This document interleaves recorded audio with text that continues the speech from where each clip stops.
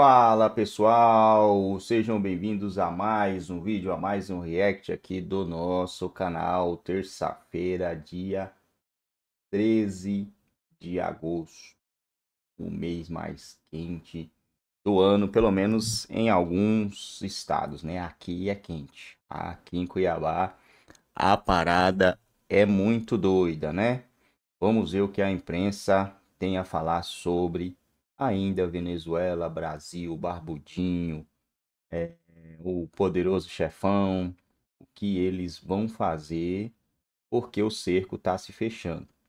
Cada dia que passa, a situação por verde está ficando mais complicada e de alguma maneira, de alguma forma, isso assusta os caras aqui.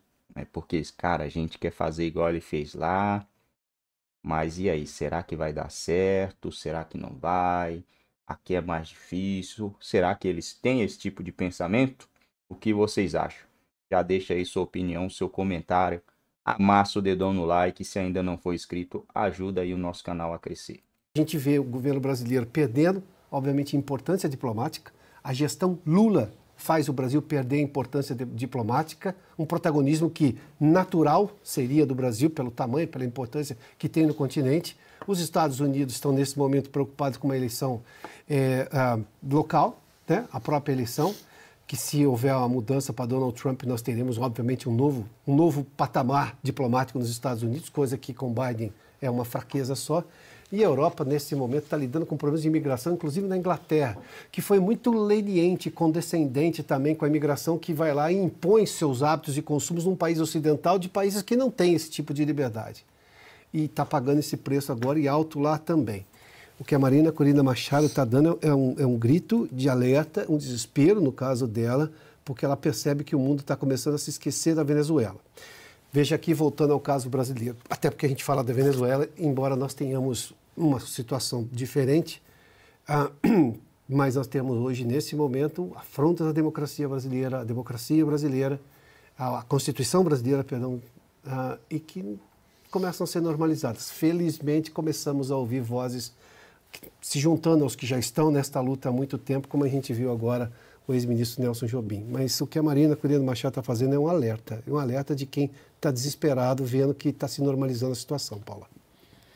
E os Estados Unidos negaram ter oferecido um acordo de anistia ao ditador da Venezuela, Nicolás Maduro, em troca de ele deixar o poder em Caracas. A notícia havia sido publicada pelo Wall Street Journal. Segundo a publicação, fontes disseram que, caso o ditador e seus principais aliados aceitassem a proposta, seria concedido o perdão e a garantia do governo americano de que eles não seriam perseguidos. O suposto perdão de Washington diz respeito à acusação do Departamento de Justiça dos Estados Unidos contra o ditador venezuelano, que teria auxiliado traficantes a enviarem território americano.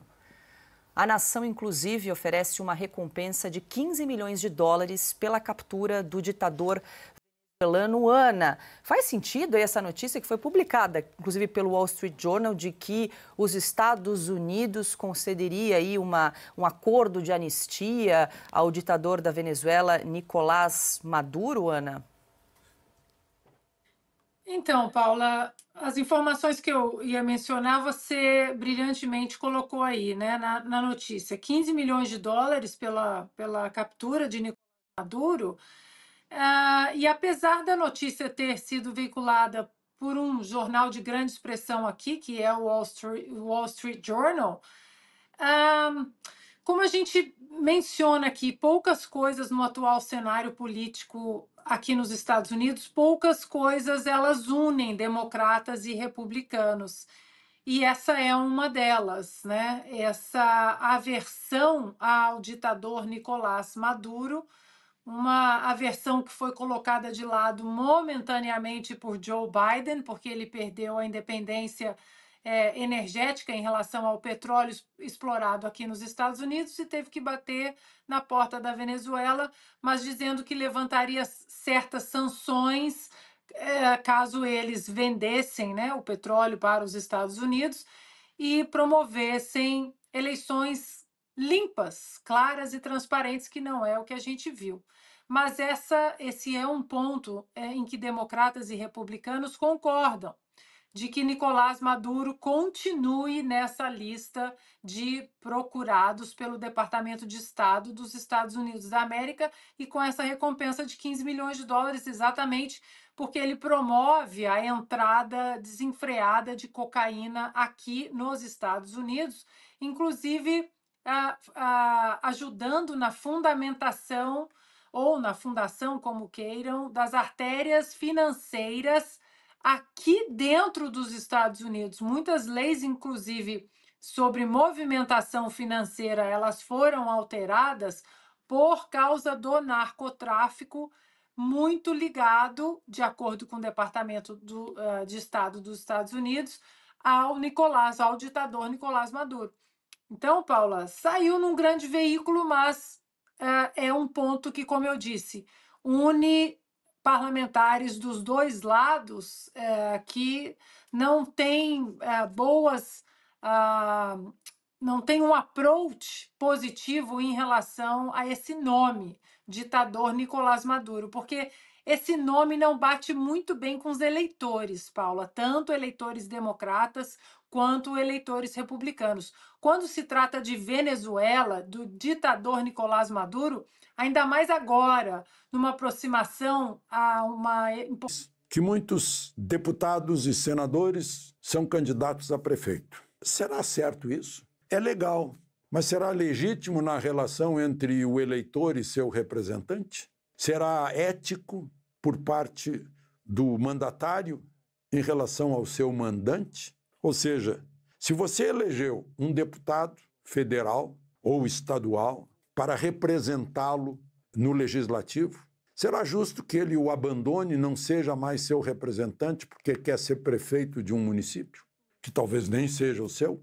Será justo que o senador que você elegeu para representar o seu estado por oito anos, lá pelas tantas, resolva abandonar você e os milhares que o elegeram para ser prefeito de algum lugar, de uma capital, por exemplo? Será justo? Será ético? Será que a moral dele, o caráter dele permitem isso? Que ele o traia? Você que o elegeu para ser senador e representar o seu estado? ou o elegeu para representá-lo como seu mandatário, você que é o mandante, você foi consultado por ele, já que você é o mandante? Não foi. Você que deu o mandato para ele. Ele o consultou ou ele o está traindo? Motivo pelo qual não merece nunca mais o seu voto. Só para a gente pensar a respeito. A respeito de democracia e, sobretudo, a representatividade popular. O valor do eleitor. Você, eleitor, é mais importante que o seu deputado e o seu senador, porque você que o elegeu, foi você, e você o sustenta com seus impostos. É assim que a democracia funciona.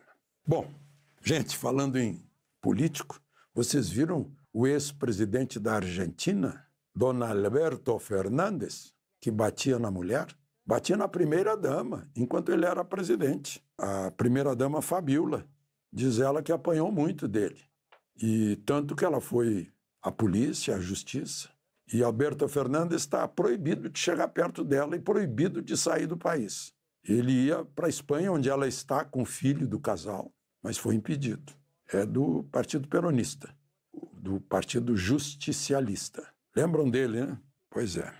E tem um outro lá na Venezuela, esse é nosso conhecido, o Nicolás eu estava vendo o Acordo de Barbados, que foi feito sob a égide da Noruega, assinado pela oposição, assinado pelo governo, assinado por ele mesmo, Maduro, assinado por representantes de outros países do continente, né, como testemunhas. Estava lá o embaixador Celso Amorim representando o Brasil, lá em Barbados, em 17 de outubro do ano passado, garantindo eleições livres, garantindo que a oposição podia escolher o candidato que quisesse e, no entanto, já inelegeram duas, duas Corinas, a Maria Corina Machado e a Corina, acho que é Yanes, algo assim. É, só permitiu aquele que o Maduro permitia né, para ser candidato, e acesso à oposição que não houve. Foi uma, uma falcatrua imensa. Quando viram que estavam perdendo a eleição, porque a eleição lá é transparente, tem as atas e a oposição acessa as atas, acompanha tudo, não tem mistério. E quando chegou a 80%, pararam tudo. porque ia ficar evidente demais. Aí criou-se um mistério. Segundo a oposição, já tinha a oposição já estava com 66% dos votos. Aí fechou tudo. Isso foi em 20, 26, 28 de junho. Né? Já está fazendo duas semanas e nada das atas. Então, está na cara.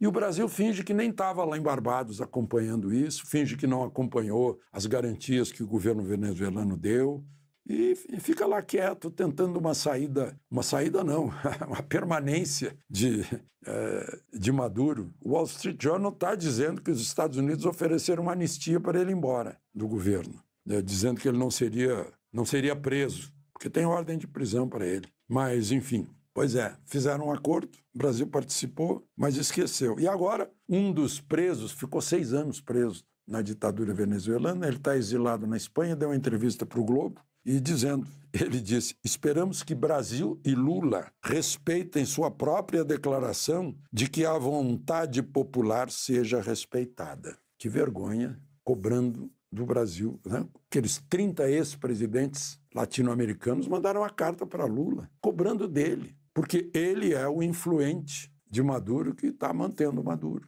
Todo mundo sabe disso. Ponto agora, uh, porque o julgamento que livrou o presidente Lula de devolver o relógio Cartier recebido de presente numa viagem à França em 2005 desmontou o entendimento do Tribunal de Contas da União usado pela Polícia Federal para embasar o pedido de indiciamento de Jair Bolsonaro no caso das joias sauditas. No relatório, a Polícia Federal menciona 26 vezes o acórdão do TCU que dizia que presentes de luxo deveriam ser incorporados ao patrimônio público. Mas o Tribunal de Contas decidiu que não existe lei específica sobre presentes. Portanto, nenhum ex-ocupante do Palácio do Planalto é obrigado a devolver presentes, independentemente do valor.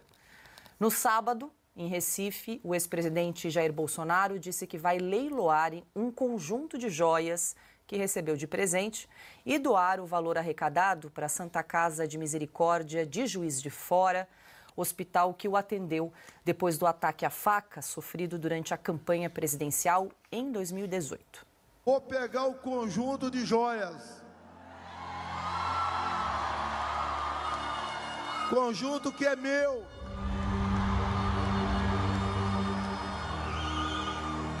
Vou leiloar essas joias e vou doar a Santa Casa de Juiz de Fora.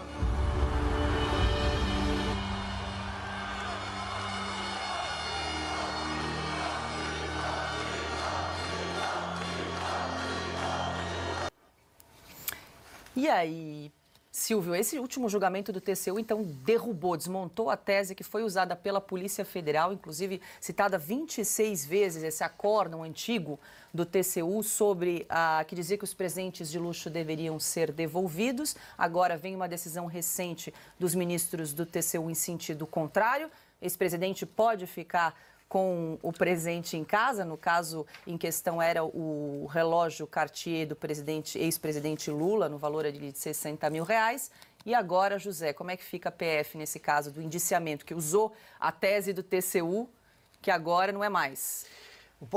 Lembra quando a gente falava sobre a Janja aqui, que eu falei, olha, isso é um assunto cansativo, tem de ficar falando sobre a Janja todos os dias. Essa história do relógio, de joias, é outro assunto chato demais, que a gente é obrigado a falar por ofício aqui, jornalístico, mas é um assunto muito chato porque é, o relógio do Lula, ele ganhou em 2005. Aí agora ele quer devolver o relógio. Aliás, ele nem pode devolver o relógio para o TCU, porque o TCU não tem guarda de pertences, não tem guarda, não tem caixa. Ele teria que ir a uma agência da Caixa Econômica Federal e depositar lá, por exemplo. Mas é, ele passou 11 anos com o relógio na gaveta, agora ele quer devolver o relógio velho, usado. e vai fazer em nome de quem, se fizer um depósito na Caixa? Pois é. Porque quem é o titular? Tem que ter uma titularidade. Ele não é. pode, entendeu? O governo não aceita esse tipo de doação. É isso que. Não. Pois é, e, e é hipó- hipócrita. Hipócrita. Arruma alguma, alguma casa de penhores aí. Exato. Pega esse relógio velho aí, dá pra alguém, faz alguma coisa, mas fica estimulando esse assunto, né? Porque a decisão do TCU pode favorecer Bolsonaro. Então aí o Lula quer fazer toda uma cena, ligou pro Bruno Dantas, presidente do TCU, e falou: "Não, nós vamos levar até você o relógio, talvez numa caixa embalada com fita". É pra fazer uma cena pra depois aquela emissora de televisão exibir. Eles passam o dia inteiro falando sobre o relógio. Eles passavam o dia inteiro falando sobre baleia, que a baleia foi molestada. Aí depois não encontraram a baleia para prestar depoimento, arquivaram o caso. Então agora. É fa- exato, é tudo cortina de fumaça, manchete de festim. Deixa o relógio, Bolsonaro tá certo, leiloa, pega o dinheiro, entrega para uma entidade filantrópica, para uma Santa Casa e pronto. E acaba com essa história. Agora, a Polícia Federal tem 26 citações, uma investigação, vai prender o Bolsonaro por causa de joias. Sabe, tá na hora de. Incomodar a baleia. Incomodar baleia, tá na hora de levar o Brasil a sério. Era Nós temos uma. ó, frase, Silvião, vamos trabalhar. Vão trabalhar, você está certo. Nós temos a maior epidemia de dengue da história. O governo não consegue combater a dengue, é dengue de inverno. Nós temos ah, problemas de segurança pública, crime organizado crescendo aqui no Brasil. A economia não é todo, não é, é, é essa céu de brigadeiro, tem problemas se avizinhando. Temos problemas fiscais claros aqui no Brasil para resolver. Diplomáticos nem se fala. Inflação, o Brasil é a valista de uma ditadura aqui dentro do continente. Será que não tem assunto sério para falar? Tem que falar de joia, do relógio. Ah, dá esse relógio velho para alguém. Os analistas do mercado financeiro, através do boletim Focus, elevaram a estimativa de inflação para este ano pela quarta semana seguida. Agora a projeção passou de 4,1% para 4,2%. Com isso, a expectativa da inflação de 2024 continua se distanciando da meta e se aproximando do teto definido pelo Conselho Monetário Nacional. A meta central de inflação é de 3% neste ano e será considerada formalmente cumprida se o índice oscilar entre 1,5% e 4,5%. Para o crescimento do PIB em 2024, a projeção do mercado permaneceu inalterada em 2,2%. Pioto, expectativa aí da inflação continua se distanciando da meta. É, ela já bateu o teto da meta, porque é 3%, como você disse, tem uma tolerância de 1,5% para cima e para baixo, ponto percentual, então ela poderia chegar até 4,5%. Oficialmente está dentro da, da meta e aí o presidente do Banco Central não precisa dar explicações no Congresso, porque se fica acima ou abaixo do que está ali dessa base de tolerância, ele tem que se explicar no Congresso Nacional por quê? Porque o Banco Central tem essa obrigação de cuidar da meta de inflação, de atingir a meta de inflação no final do ano. Nos últimos 12 meses já está em 4,5%. Boa parte disso vem justamente da desvalorização do real, ou seja, tudo fica mais caro. Como boa parte do custo da economia brasileira, e é natural que seja assim, porque é um país que está cada vez mais tentando entrar, obviamente se abrindo mais, você tem repasse. E boa parte desse custo de dólar mais alto para o Brasil vem de todas as bobagens que o presidente Lula disse recentemente em relação à autonomia do Banco Central, a questões fiscais do ponto de vista de segurar o custo para, obviamente, evitar problemas. Quer um exemplo? No final de dezembro do ano passado, o dólar estava abaixo de R$ reais, bateu 4,86 na segunda-feira da semana passada, naquele prenúncio de crise econômica que, felizmente, um temor de recessão americana, não, não, não foi muito adiante. Fechou em 4,57, se não me engano, na sexta-feira, um pouco 5,50, perdão, 5,54, se não me engano, na sexta-feira, bem abaixo, mas para quem estava abaixo de 5, nós estamos falando de um dólar abaixo, acima de 5,50, isso obviamente é repassado.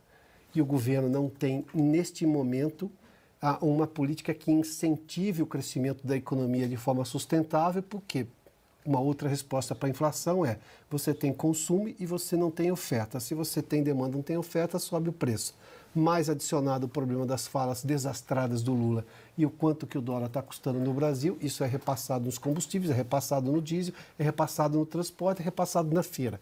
Simples assim. Então, é, o governo parece que agora começa a entrar nos eixos.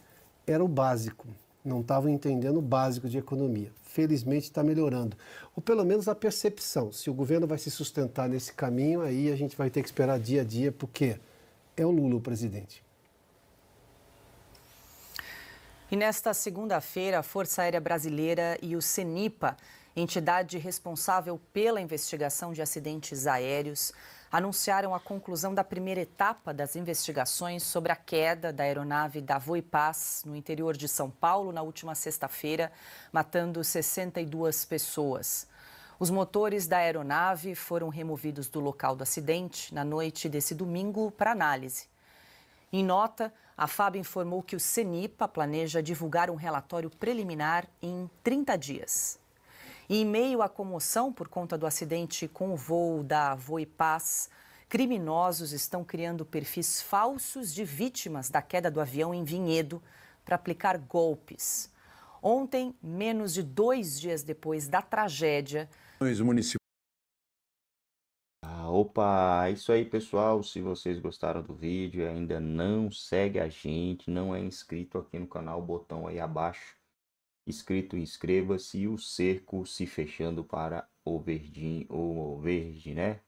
Dando ruim aí pro verde, vamos ver até aonde essa corda vai ser esticada e vamos ver uma salvação para esse povo, se esse povo vai conseguir escapar das mãos desse senhor aí que está meio que destruindo a sua própria população, né, o seu próprio povo. Isso é, é algo assustador.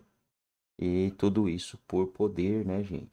A gente já viu a história é, falando sobre esses acontecimentos.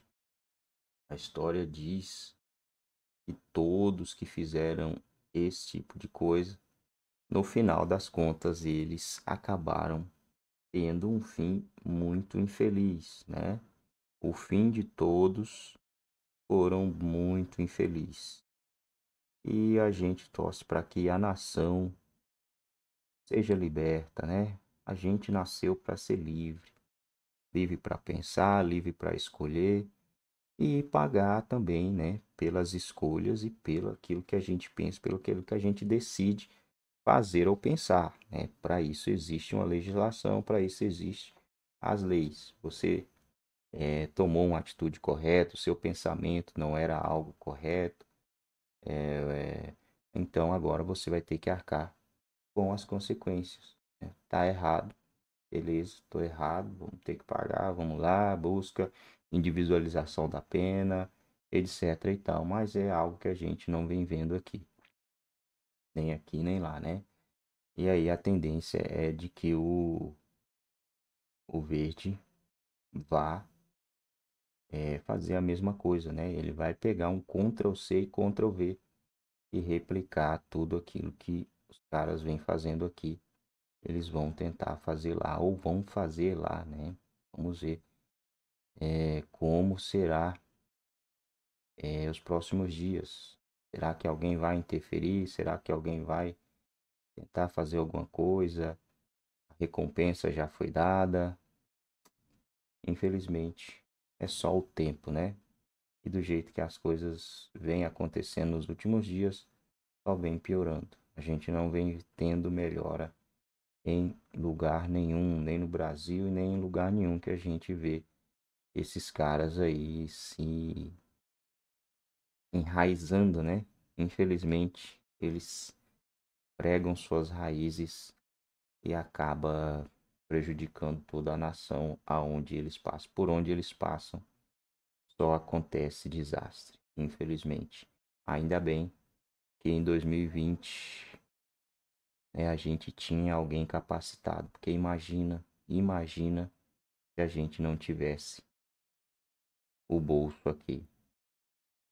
E com ele os caras fizeram aquele tanto de bagaceira com o respirador, com um monte de coisa. E imagina como seria sem esse cara, né? Se você gostou do vídeo, ainda não segue a gente, mas clica no coraçãozinho. Coraçãozinho. Clica aqui no botão abaixo, segue, deixa seu comentário, curte o vídeo para que mais pessoas possam estar assistindo.